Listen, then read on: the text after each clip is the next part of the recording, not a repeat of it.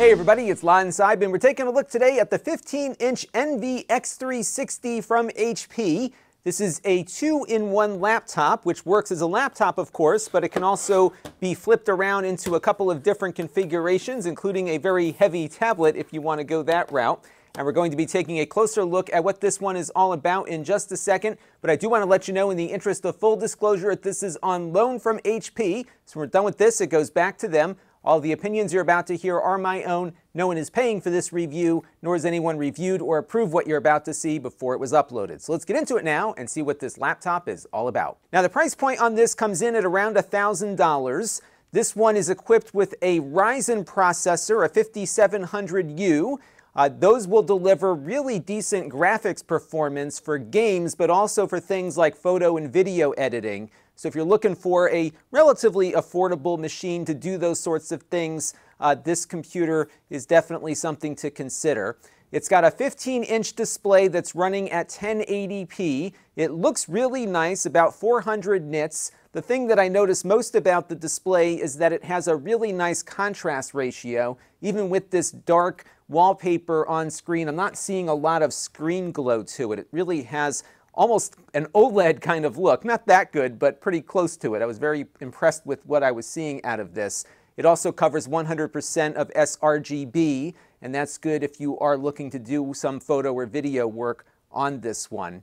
The build quality is very nice also. It is all metal, so it's got a nice premium feel to it. I did find the hinge here to be a little wobbly when you're pushing on the screen a bit, but other than that, it seems to be fairly well constructed. The weight comes in at 4.11 pounds or about 1.86 kilograms. So it's a little on the heavier side, but it's also a larger notebook, of course, with a 15-inch display. It's pretty upgradable also. The uh, machine here, our demo unit, came with 16 gigabytes of RAM, but you can upgrade the RAM. In fact, there are two RAM sockets on board for you to do just that. HP does not recommend you do this yourself, of course, but I think if you're savvy enough, you can very easily upgrade the RAM, and I do believe this machine will go up to at least uh, 32 gigabytes if you want to add some more RAM to the mix. It supports DDR4 3200 memory. Now to get into it, you do have to remove some of the rubber feet here on the bottom. So it's definitely something you'll want to be careful about so you can get those rubber feet back on when you're done. But it's nice to see that the RAM is upgradable this one has 512 gigabytes of storage on an NVMe. That is also upgradable. And the Wi-Fi card on board, which also handles the Bluetooth, uh, is made by Intel, but that also can be upgraded if you want down the road. So good upgradability on this one, not something we're typically seeing in some of these more premium laptops. Now it has a 720p webcam on board. It looks pretty good for a 720p camera. As you can see there, it's pretty wide angle also, so if you've got a couple of people that you'll be on a call with, they can all fit on the screen with you there, so that was a nice thing to see. Uh, the camera has a shutter mechanism that's engaged via the keyboard, and what this will do is turn off the camera and also put uh, something in front of the lens here. And then, of course, to turn it back on, you just push that key again to re-enable it. They also have a similar feature for the microphone that will disable the mic when you don't want to be heard. Battery life on this one will probably get you into the 10 to 11 hour range if you keep the display brightness down and stick to the basics like word processing and web browsing and email and that sort of thing. If you are doing more intensive work, of course, that will eat into the battery further, but I was very pleased overall with the battery life for the size of the laptop that we have here. Now the keyboard is your standard HP premium keyboard here, very nice to type on. You've got decent travel to it. The keys are backlit if you need some illumination in the dark. The trackpad isn't bad either, a little springy, but very accurate and seems to be working just fine as I've been playing around with it. You have speakers here on the left and right hand side. They are very clear sounding speakers, but they don't have a wide range of sounds. You're not going to hear a lot of bass but they're nice and loud, so they're good for doing web conferences and that sort of thing. Just note, though, that when you have the computer oriented like this, those upward firing speakers become downward firing speakers and might sound a little muffled. So to get the best audio quality, you might want to use a pair of headphones. Now there are a number of ports on this one, so let's take a look at what we've got here. So on the left-hand side, we've got just enough room for a full-size USB-A port. The machine itself is rather thin, as you can see.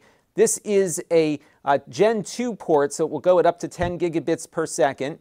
You have an HDMI output here. This is HDMI 2.0, so it will support uh, 4K displays. Next to it, you've got a USB Type-C port. This is not Thunderbolt, but this is a full service port, so it will do display out, power in, and of course run all of your data devices. And then you've got a headphone microphone jack over there.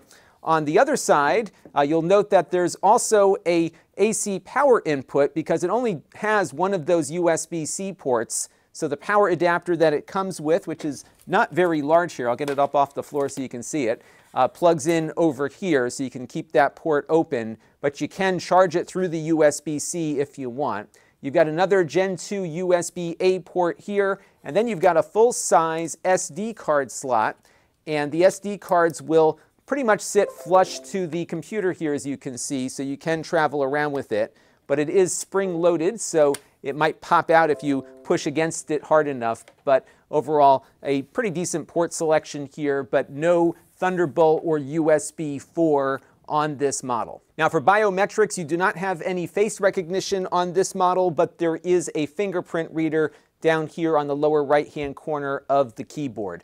Let's take a look now and see how it performs. All right, so let's load up the Google Chrome web browser here and visit the nasa.gov homepage to see how this does with web browsing. As expected, this loads everything up very quickly because we do have a pretty recent Ryzen processor on here. Everything is rendering very quickly. The uh, touchscreen is working just fine. So I think if you're doing the basics on this, like web browsing, word processing, and email, everything will feel pretty nice on it. A little bit earlier, we tried out YouTube with a 1080p 60 frames per second video. Uh, we did see two drop frames right when we first started it. That's not unusual, but after that, it ran just fine without any further drop frames. So if you're looking at Twitch and other high frame rate video services, this will work fine. It will also do very nice with Netflix and some of the other streaming providers as well, uh, given how nice the display here is and uh, the nice Wi-Fi 6 radio that they've got built in. And we are connected to a Wi-Fi 6 network right now. And on the browserbench.org speedometer test, we got a score of 145.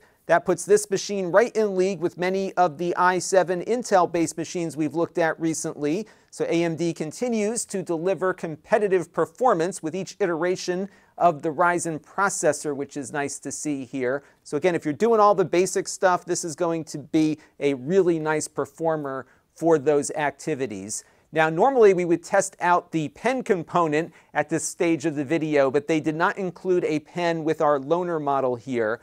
Uh, this does support the uh, HP MPP 2.0 pen, and apparently there is a place on the side for that pen to connect magnetically. It doesn't uh, install inside of it, but it does have a place for the pen to be stored while you're carrying around the laptop with you. So let's take a look at some games now. This is Red Dead Redemption 2 running at 1080p at the absolute lowest settings. And here we were able to get about 25 to 30 frames per second most of the time although we had a much more consistent experience at 720p where frame rates ran usually over 30 frames per second. The next game here is Fortnite, and with this one we wanted to find the sweet spot for 1080p, and we found it with the medium settings here, which usually kept the frame rate above 60. So that was a good Fortnite experience here with this machine. Again, really good gaming performance out of these Ryzen processors.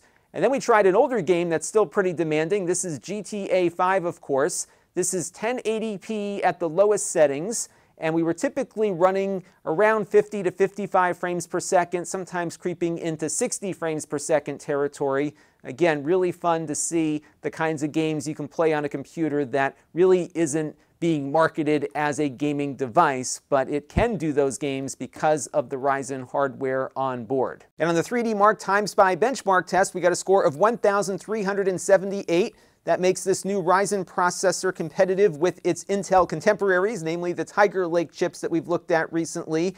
And on some of these tests, like the CPU portion, it actually exceeds what those Tiger Lake chips are doing. So altogether, very good performance here.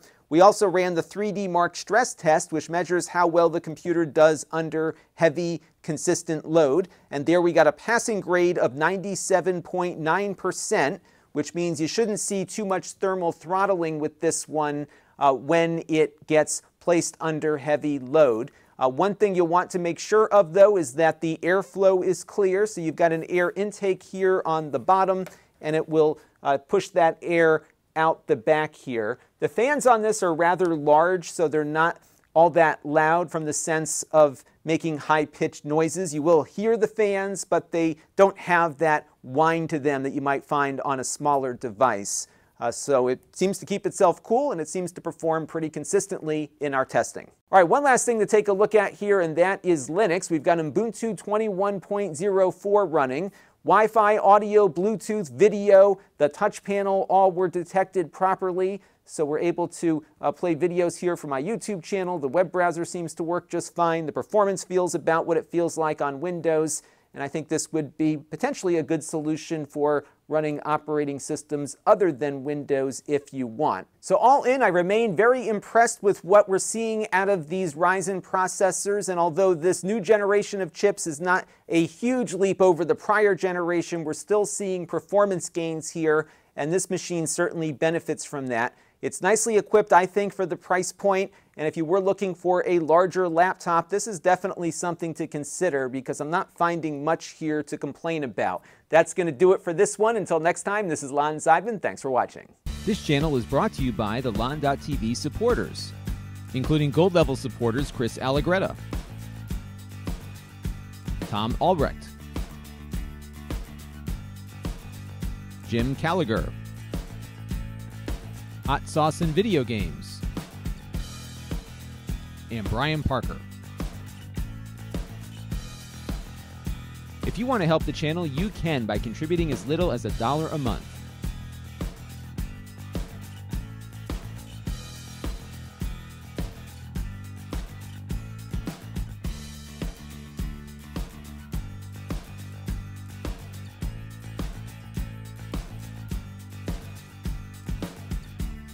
Head over to lon.tv slash support to learn more.